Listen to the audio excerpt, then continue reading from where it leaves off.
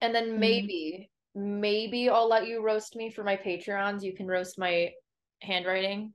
Oh, perfect. Yeah. Should I introduce myself? Yeah, introduce yourself. Okay, my name is Leah, and I make videos about handwriting analysis, also known as graphology. It's a branch of psychology that's largely shat on, but here we are regardless.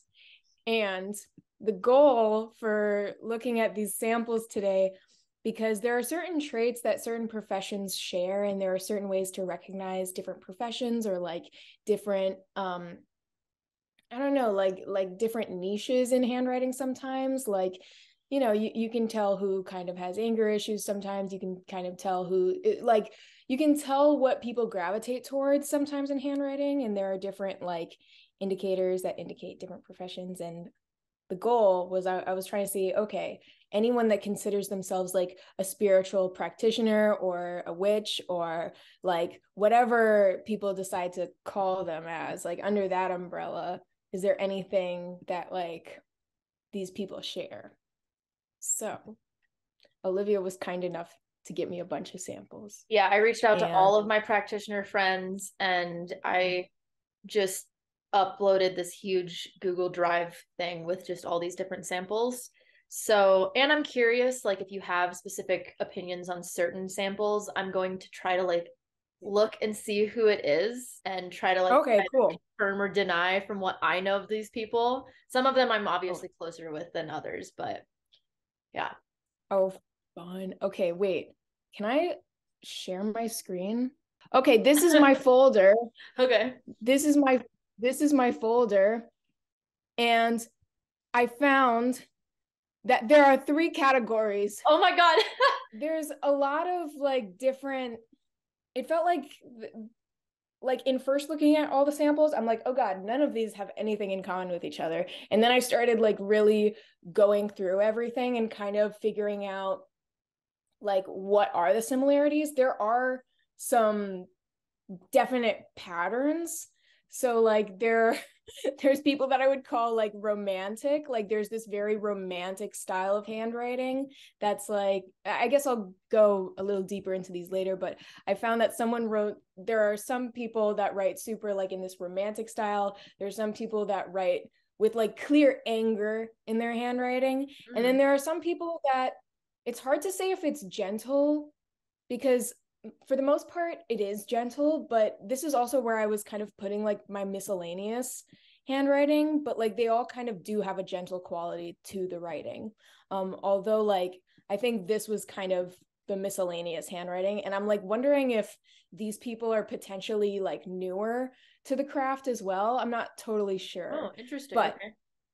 so like my initial predictions for looking at the handwriting was I was like because I've looked at handwriting of people that are like very spiritual in the past and usually it's like large upper zones cuz like upper zones are like the upper third of the handwriting is like your moralities and like intellectual ideas and um and it also goes along with like it can go along with like religion and so i'm like okay that seems pretty witchy and i've like looked at other people that have like very like strong sense of spirituality and they usually have large upper zones and then i also was wondering if i'd see baselines that aren't really on the baseline just because um that would kind of indicate someone that's like very imaginative and like doesn't necessarily like has a hard time like keeping their feet on the ground just because I noticed that pattern in like a couple people's handwriting in the past, but I actually didn't notice that really all that much. And I didn't even notice too many large upper zones. But anyways, so for the romantic writers, the romantic witches, I noticed a lot of like arcaded styled handwriting, a lot of stylistic deviations, um, a lot of writing that's like reminiscent of older cursive styles. So, for example, this is the Palmer method. This is uh, Spencerian cursive, and this is like D'Nealian. Th- these guys are not, although it's a lot of cursive, it's like no one's writing like simple cursive. Like it's all cursive that's like pretty reminiscent of like an older style of handwriting, which would indicate someone that's like, um, I don't know, that like honors like these older traditions, which was kind of interesting. Okay. Um, so that's kind of interesting too, because I'm curious if I'll be Mhm. seeing this more so in like traditional practitioners or people who follow like Mm. more traditional things compared to something that's more of like a UPG and more of like new age style. Okay. So What's all- UPG? UPG is like unverified gnosis. So it's kind of like it's not something that they got from a specific practice that is like taught and hierarchied. That's a weird word to say, but Okay. like so it's, not like, a structured thing. It's more of something that's kind of like based off of intuition. got it. Yeah. So these were like some of the patterns that I noticed. And then I guess I'll just show some of these like romantic styled writers. Like your handwriting is definitely in there because it's like it's like this kind of older style cursive. It's also kind of like got these upper zones. Like you could argue like there's some indicators of anger in there, but um it's it's like definitely this like older style of cursive and like here's just like all these like style uh like even this like i put this person in this category because Interesting. it's like these stylistic deviations that Hmm. are happening um so i was like that's why i kind of The two people that you showed that weren't mine. Uh, the first one is Mm. Annie the Green Witch, and she practices a lot of like a lot of folk Mhm. magic. So it is a lot of like older style remedies. And then Mm, the next person you showed, um, I believe he his name's Ocean, and he is a Nordic practitioner. So again, very like based in folk and traditions. So I think that's kind of interesting that, that shows up in his handwriting. it's just cool and again the, honestly like other graphologists may have other opinions on like people who are like super spiritual in their handwriting because like i know there are some graphologists where their houses they have like binders filled with handwriting like like this gal that i used to go to the study group with her name is linda she says oh i could get out my stripper my stripper binder and it's like a What? binder filled with handwriting from all like strippers and I was yeah, like- Linda. I'm like, oh my god, like what other binders do you have? Like, I can get out my stripper bri- binder. That's not something I would have ever thought to hear somebody ever say to me. That's hilarious.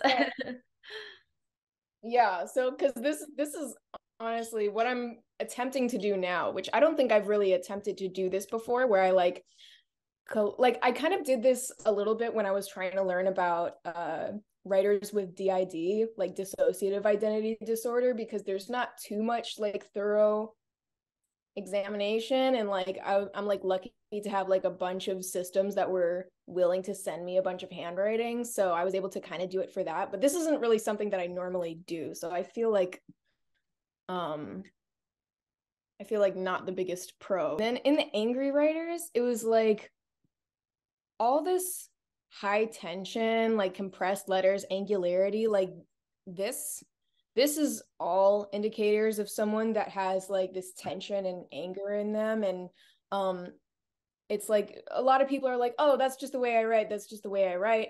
But it's like if you're writing in a way that's super tense and that's the way you normally write it's like that's how you normally carry yourself. So that's what i kind of say to anyone who's like oh i'm not angry this is just the way i write and it's like no so here we've got like a lot of high tension. There's a lot of tension in there. This one was more of like a Oh, eh, okay. And the other things I saw, I saw some large upper zones. I saw some evidence of impatience.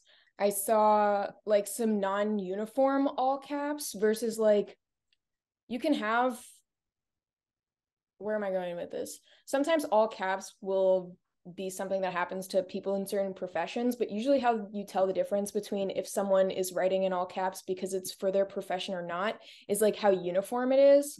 Like, for example, this person writes in all caps, but it's like very non uniform in terms of size and in terms of like legibility as well. They're struggling. Like, this is the more um, neater version of their handwriting. Like, they had two samples but um this one was like the more neater version and you still see like the like non non uniformity and like the speed I have to go just kind of an who's- who these two are. I Yeah. know who the pink one is. Um and like okay. which this is like impatience, but it's also like when you have ununiformity, it's like you can't really count on this person to behave predictably. This person is kind of like always kind of impatient and fast. So it's like you can you can kind of have an expectation of how they'll behave. I don't know if that makes sense, but like I don't know. Some people are genuinely unpredictable and you don't know what the heck to expect from them. And this person, this person you kind of know to expect the unexpected, if you know what I'm saying. Yeah, I was just But- gonna say, I was like, that that's expected of this person of like not to expect anything. Or like not like to be That's- unexpected with this person. That's expected. um the other thing I saw is I saw quite a bit of like mixing all caps and lowercase, which would indicate defiance. Like it can also indicate ADHD, but honestly, like ADHD is like such a huge spectrum that it's I find it really hard to I don't know, see what people have in common. But I noticed, I don't know, there were a lot of capital R. I'm like, where like for example in in this person there's like some big giant r's and i'm like what is going on so Hmm. it's like mixing these all caps oh and i also put her in a in the in this category i don't think sh- this person's actually an angry person but they were definitely like kind of sick of it when writing this just because of like all the underlining. You notice like if you i'm not comparing this person to a dictator but a lot of dictators have so much underlining when they write things down. So i don't think this is how this person normally is. I, I think this person is just sick of getting like unsolicited dms being like oh my god read my astrology chart. Mhm. and they're like go get lost. So well, yeah, this is. This is one of the accounts uh that she gets not like hundreds of DMs, hundreds uh saying like, "Oh, you know, you reached out to me, but I think it's a different account that you made." And she's like, "I literally don't have any Oh. more account." Like it's one of those things where it's just scammers Yeah. and um she gets a ton of them because she actually does do readings, but she doesn't reach out to Mhm. people and so she's just so over like having to say this. Yeah. So I think she that But was you you have to approach it Yeah, have like- to approach it a level of like diplomacy uh, do not send me an email do not Yes. send me a damn email when i tell you don't email me like i i yeah That's exactly so. That's hilarious. I think she's gonna get a kick out of that. You're a dictator, Robin. You heard it here first. you're a dictator let's see this one i mean like we've got some giant k's which is an indicator of defiance but this one i think i was just also noticing like the compression like this one has some indicators of depression in there so i'm uh Oh, let me see. but i guess i did put it in this category like this one just indicates i would like depression because i was just like getting this like the baseline is kind of sinking like it starts at the top and then it gets kind of lower and also the form is kind of suffering like and the middle zones are all like closed Mm. so it's like emotional emotionally closing off not to get in this person's business but i put this person in in this category because um because it's it, it is compressed letters and it does have a speed to it but i don't know if this person is actually angry now that i really think about it but what was i talking i was talking about how i noticed like some mixing of all caps and lowercase Yeah.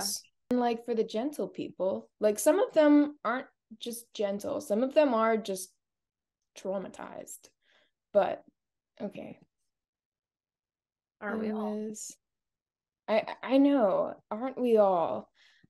I guess these people aren't necessarily like gonna kick you in the shins, you know? The same way like people in the other category might they might kick you in the shins.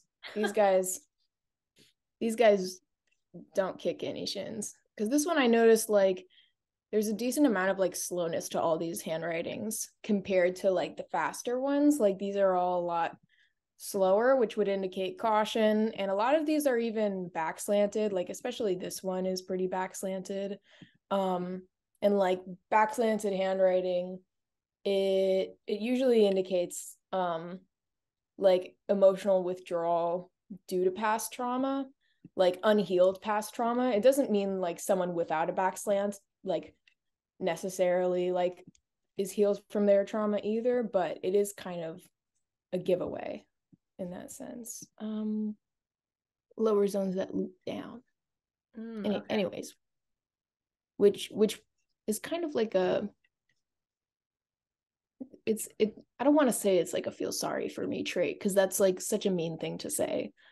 But um it is kind of associated with like um like victimizing yourself.